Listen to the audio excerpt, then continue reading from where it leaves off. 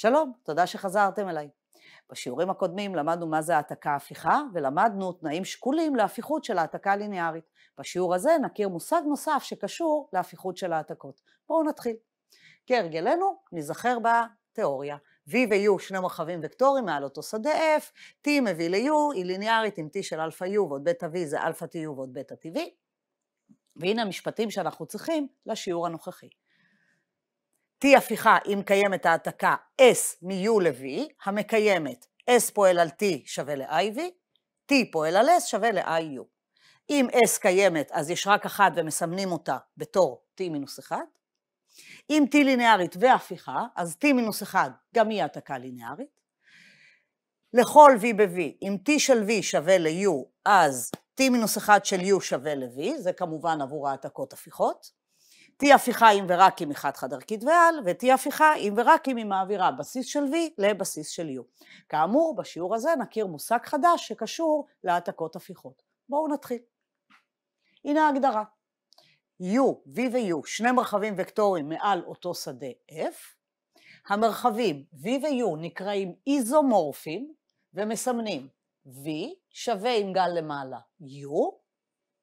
אם קיימת העתקה לינארית, T מביא ל-U, שהיא חד-חד ערכית ועל.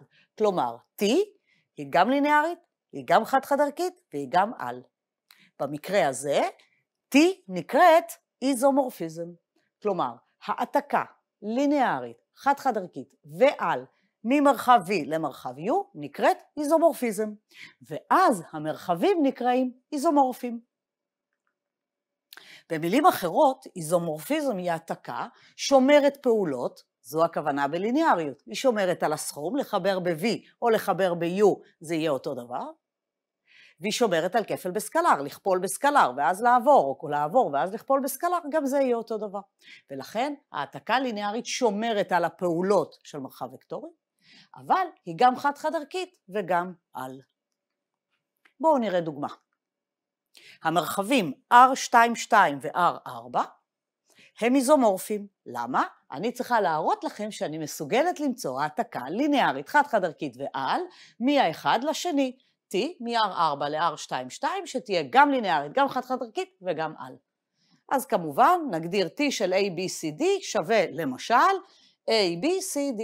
לקחתי את הרביעייה ובניתי ממנה מטריצה 2 על 2. מאוד קל להשתכנע שההעתקה הזו היא ליניארית, שהיא חד-חד ערכית ושהיא על. שהיא על זה ברור, ABCD זה בדיוק R22, לכן התמונה זה כל הטווח.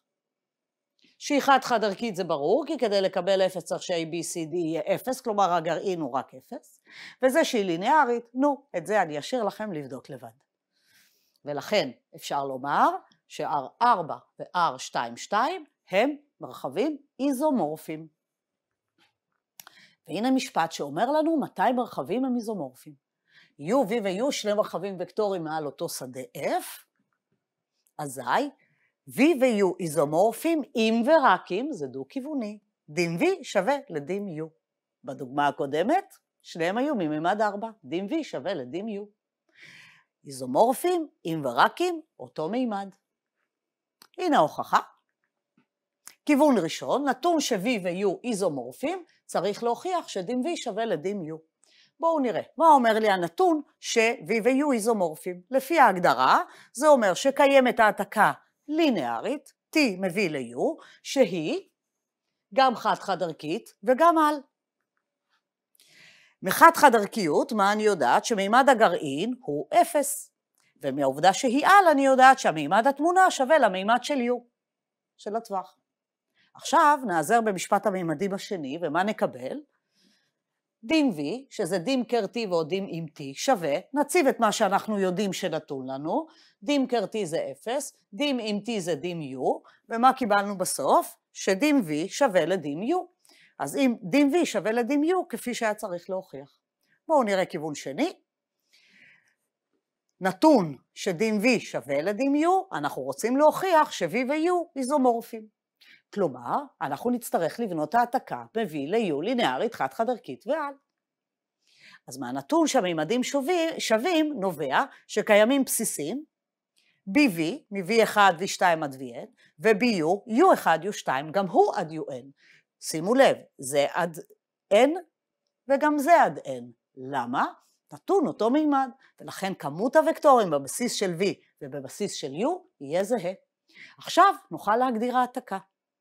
נגדיר T מביא ל-U על ידי T של V1 יהיה U1, T של V2 יהיה U2, T של VN יהיה UN. V1 יעבור ל-U1, V2 יעבור ל-U2 וכן הלאה. עכשיו, כבר ראינו שאם אנחנו מגדירים T על אברי בסיס, קיימת העתקה כזו ורק אחת. ולכן העתקה ליניארית T שעושה את הדרישה הזו, יש כזו, כבר הוכחנו את זה מזמן. אז T קיימת. מה נשאר לי לעשות? להראות עוד שהיא חד-חד ערכית ועל, כי את הקיום כבר הוכחנו בזמנו. כשמגדירים על אברי בסיס, הגדרנו היטב. אז בואו נראה, הקבוצה TV1, TV2 עד TVN, הפעלת T על בסיס של V, נותן לי את התמונות, שזה בעצם ה-U'ים לפי מה שהגדרנו, אז הקבוצה U1, U2 עד UN היא קבוצה פורסת לתמונה. הקבוצה הפורסת את התמונה היא בלתי תלויה, היא גם בסיס של U, ולכן התמונה שווה ל-U, לכן T על. המימדים שווים, לכן T גם חד-חד ערכית. ראינו שאם המימדים שווים, חד-חד ערכית, אם ורק אם, על. אם אני יודעת שהיא על, אוטומטית אני מקבלת גם חד-חד ערכית. אז קיבלנו ש-T קיימת, היא חד-חד ערכית והיא על, ולכן המרחבים שלנו הם איזומורפיים. וזה כמובן מסיים לנו את ההוכחה. שימו לב ששיעור קודם למדנו תנאים שקולים להפיכות. אחד התנאים אמר ש-T הפיכה, אם ורק אם היא מעבירה בסיס לבסיס. הפיכה פירושו, אם ורק אם, חד-חד ערכי ועל. אז יכולנו להוכיח גם קצת אחרת. להגדיר בצורה כזו, יש משפט שאומר שההעתקה הזו קיימת והיא ליניארית ויחידה.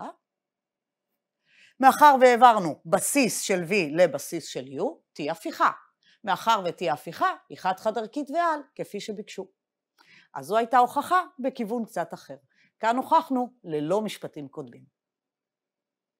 ללא המשפטים האלה, משפטים אחרים כן. טוב, עכשיו בואו נראה דוגמה מאוד חשובה. שימו לב, V מרחב וקטורי מעל לשדה F ממימד N, מרחב וקטורי כלשהו שמימדו N. הראו ש-V איזומורפי ל-Fn, ומצאו איזומורפיזם. אז להראות ש-V ו-Fn איזומורפיים זה מאוד פשוט, הרגע הוכחנו משפט שאומר שמרחבים הם איזומורפיים אם ורק אם הם מאותו מימד, ולכן דין V שווה לדין Fn שווה ל-N, אותו מימד, ולכן לפי המשפט שעכשיו ראינו, הם איזומורפיים.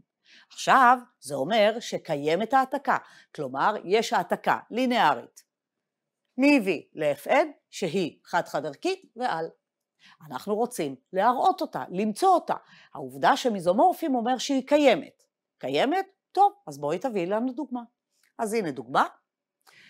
ניקח בסיס B כלשהו של V, ונגדיר T מ-V ל-Fn על ידי, שימו לב, T של V, כלומר וקטור V כלשהו במרחב V, לאן הוא יעבור ב-Fn? לוקטור הקורדינטות שלו, לפי הבסיס B הנתון. כל וקטור ב-V עובר לוקטור הקורדינטות שלו, לפי בסיס B נתון שנמצא ב-Fn. כמובן שההעתקה הזו, כפי שהגדרנו, תלויה בבסיס B. אם תיתנו לי בסיס אחר של V, אני אקבל העתקה אחרת, שגם היא תהיה איזומורפיזם. אבל רגע, צריך עוד להראות שזה אכן איזומורפיזם. אז ראינו כבר ש-T כזו היא ליניארית, את זה כבר ראינו.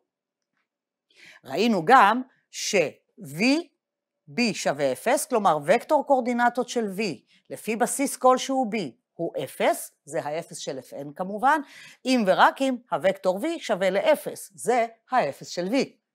ולכן t חד-חד ערכית, רק ה-0 עובר ל-0, אז יש לנו חד-חד ערכית. המימדים שווים, לכן שוב, חד-חד ערכי, אם ורק אם על, את זה כבר ראינו. המימדים של v ו-fn זהים, אז אם אני יודעת חד-חד ערכית, אוטומטית אני יודעת על. אם אני יודעת על, אני יודעת אוטומטית חד-חד ערכית. לכן כל פעם אנחנו מראים אחד, ומשוויון מימדים מקבלים אוטומטית גם את השני. זהו, לכן מצאנו העתקה מ-V ל-Fn, שהיא ליניארית, שהיא חד-חד ערכית ושהיא על. ולכן זה סוג של איזומורפיזם בין V ל-Fn. כמובן שאפשר למצוא עוד הרבה כאלה ולהגדיר אותם גם בדרכים אחרות, אבל זו דוגמה מאוד מאוד חשובה שתשמש אותנו גם בהמשך. זהו חברים, סיימנו להפעם, ניפגש בשיעור הבא.